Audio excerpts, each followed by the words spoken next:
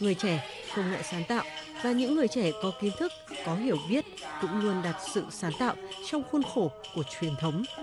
Thưa quý vị và các bạn, làm thế nào để giữ lửa cho nghệ thuật dân gian truyền thống luôn là câu hỏi khiến các nhà quản lý bảo tồn văn hóa chăn trở suy nghĩ, nhất là với những loại hình di sản kén người nghe như hát sẩm, trèo, cải lương.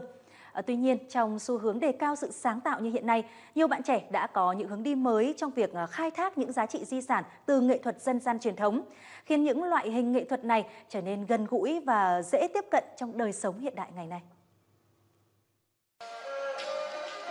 Biểu diễn hát sẩm trong không gian của một trung tâm thương mại giờ không còn là điều xa lạ đối với cộng đồng.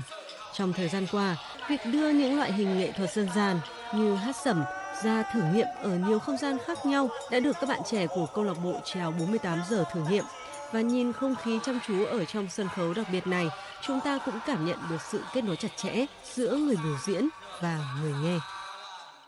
Mình thấy là cái hoạt động mà biểu diễn ờ, các nghệ thuật truyền thống này này ở khu ờ, trung tâm thương mại như thế này thì nó thực thực tế là nó cũng rất là gần gũi với người dân như mình bởi vì là thường nếu mà có thể đến được uh, những cái sân khấu lớn ấy thì là cũng hơi khó mà biểu diễn ở đây thì rất là tiện và để mình cũng có thể tiếp cận với nhiều nguồn thông tin. Trước thì chúng ta sẽ thấy nghệ thuật truyền thống xuất hiện ở đình làng, ở lễ hội,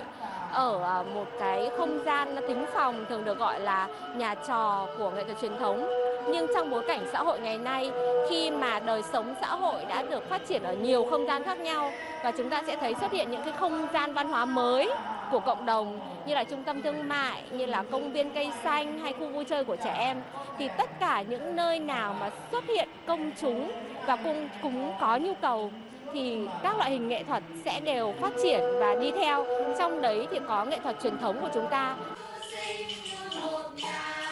Người trẻ, công nghệ sáng tạo và những người trẻ có kiến thức, có hiểu biết cũng luôn đặt sự sáng tạo trong khuôn khổ của truyền thống. Để có thể tạo ra những buổi biểu diễn nghệ thuật truyền thống theo cách mới, bản thân những người trẻ này cũng phải nghiên cứu kỹ lưỡng những giá trị cốt lõi của nghệ thuật truyền thống và dựa vào sự sáng tạo khiến nó trở nên gần gũi hơn với cộng đồng, chứ không phải làm biến đổi những giá trị cốt lõi ấy. Phép thử của chúng ta trong giai đoạn hiện nay có những tín hiệu tốt để chứng minh rằng là trong tương lai chúng ta sẽ có thêm những ờ, không gian mới nữa. À, miễn rằng là những không gian đó sẽ không làm đến phương hại đến di sản. Với cá nhân của một người làm sáng tạo và mình hướng đến những tích cực thì mình thấy rằng là những cái này nó đôi khi cũng sẽ là cái cơ hội. Vì uh, nếu như không có những cái cơ duyên được sáng tạo như vậy thì cái cuộc sống hiện đại hối hả chưa chắc là mình đã có cơ hội để tìm hiểu về những cái cội nguồn của mình những câu sẩm truyền thống nhưng qua lời hát của những người trẻ lại dường như gần gũi hơn.